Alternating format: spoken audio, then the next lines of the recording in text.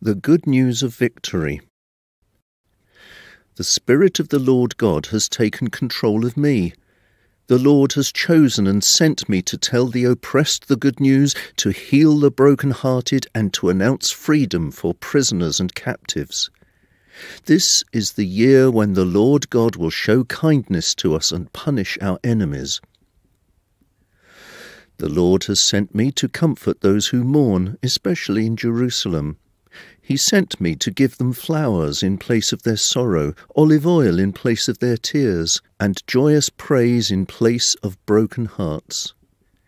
They will be called trees of justice, planted by the Lord to honour his name.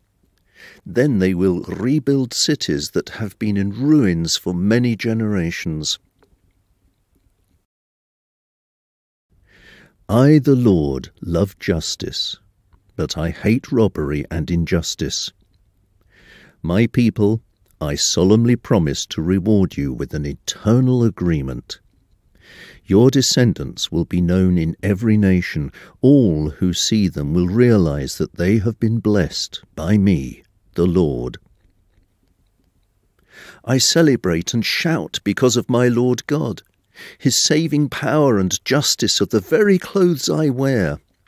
They are more beautiful than the jewellery worn by a bride or a groom. The Lord will bring about justice and praise in every nation on earth, like flowers blooming in a garden.